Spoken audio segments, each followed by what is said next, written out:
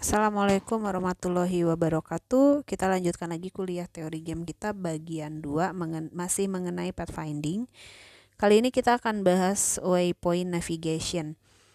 Nah, di sini intinya kita punya sekumpulan nodes-nodes yang bisa kita pakai untuk menandai jalur-jalur. Jadi bisa kelihatan di gambar ini ada jalur-jalur ya dari A sampai G setiap titik-titik atau nodes ini diberi nama pakai alphabetical tapi mau pakai nama lain juga boleh. Intinya waypoint navigation ini kita pakai node pakai kayak grab gitu dan cukup mudah ya dan ini mengurangi waktu komputasi dan respon time. Kita di sini menggunakan labeling node kayak yang kelihatan di sini di gambar ini dan juga setelah membuat labeling node-nya untuk jalur-jalur tersebut, kita buatkan predefined routing table-nya yang mana nanti akan bermanfaat ketika menentukan jalur. Oke, jadi seperti ini. Saya hapus dulu ya.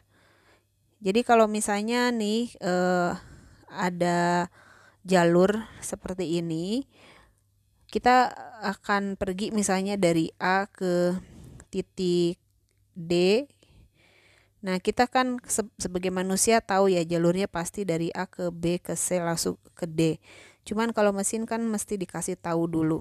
Makanya dia akan baca predefined routing table yang sudah kita buat berdasarkan gambar ini. Nah, gimana cara buat predefined routing table-nya? Ya, kita lihat di sini uh, A itu adjacentnya hanya satu ya dengan B. Jadi kita kalau mau pergi ke mana pun mau tidak mau pasti harus melalui si B-nya dulu.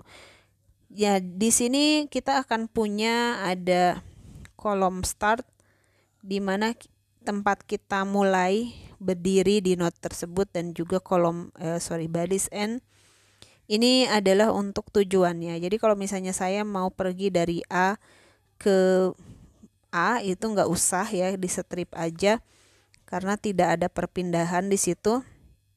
Nah kalau misalnya kita mau pergi dari A ke B, kita langsung aja startnya dari A, N-nya ke B, maka yang ditunjuk berikutnya node-nya adalah B. Namun kalau kita mau pergi ke D atau ke mana pun itu, kita nggak bisa loncat, kita harus tetap melalui B. Jadi selalu ketika kita mau pergi ke C sampai ke G pasti harus melalui dulu titik B. Ya, makanya di sini nodesnya yang disebutkan dari A, N-nya ke mana pun itu pasti titik B duluan yang disebut. Jadi nggak ada jalur lain ya. Nah, kalau misalnya kita sudah pindah, katakan tadi kita mau ke D ya. Kita sudah pindah ke B, sekarang kita start pointnya ada di sini ya dari B mau ke D. Mana yang dilihat? Oke, di sini B punya adjacent ke A dengan ke C ya. Jadi di sini kalau dia mau ke A, kita isikan saja di sini A, B ke B nggak usah karena dia nggak pindah ya.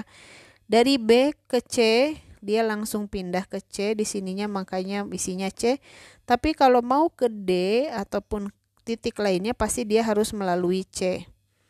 Oleh sebab itu predefined table-nya seperti ini. Oke, kita di sini mau pergi ke titik D. Makanya di sini tujuan berikutnya adalah dari B mau N-nya ke D.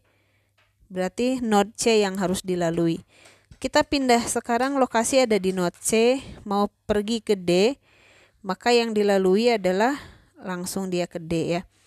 Tapi kalau di C karena C ini ada adjacent ada tiga nodes jadi kalau kita mau pergi ke A atau ke B, dia harus tetap melalui B. Kita kalau mau pergi ke E, ini bisa langsung ya. Mau ke F, mau ke G juga ini harus melalui node E. Ya, itu cara membuat routing table-nya. Nah, kalau misalnya ada soal, ya kalian harus bisa buat ya kalau misalnya ada map, buatlah uh, predefined routing table-nya silakan dibuat seperti ini. Dan juga ada soal lagi setelah dibuatkan mapnya dan predefined routing table-nya berikutnya pasti akan ada soalnya. Katakanlah goals-nya itu adalah G. Jadi tujuannya adalah B eh sorry kebalik ya. Awal mulanya titik berangkatnya itu adalah B, tujuannya adalah G. Ke manakah kita harus berpindah? Karena kita manusia, kita langsung tahu pasti jawabannya ke C, E, F, dan G. Tapi kalau mesin tidak seperti itu, maka kita harus beritahu. Nah, sesuai dengan predefined routing table, kita posisi ada di B, startnya. Kita akan buatkan saja table seperti ini supaya lebih mudah. Jadi nanti eh, tokohnya atau NPC-nya itu bisa move ya sesuai dengan yang ada di table ini. Oke, dari B mau pindah ke G. Lihat kita lihat di sini N-nya adalah G, berarti kita harus disuruh pindah ke C. Oke, jadi table intersection-nya adalah C, maka kita move-kan ke C. Sekarang kita lokasi startnya ada di C, kita mau ke G ya kan, masih belum sampai ya. Kita mau ke G maka di sini kita suruh pindah ke E.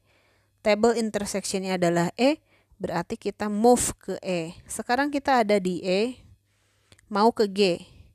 Masih yang ini yang dibaca, kita lihat ke bawah, ternyata disuruh pindah ke F. Jadi table intersectionnya adalah F, kita move ke F. Kita kita move ke sekarang ke F. Sekarang ada di F, terus kita mau ke G. Oke, ini sudah sampai langsung ke G ya table intersectionnya adalah G move ke G sehingga di sini kita sudah move sebanyak empat kali dan sudah sampai pada tujuan. Ya itu mengenai waypoint navigation di next video kita akan bahas mengenai uh, pathfinding yang lain yaitu Astar. Jadi kita lanjutkan aja di video berikutnya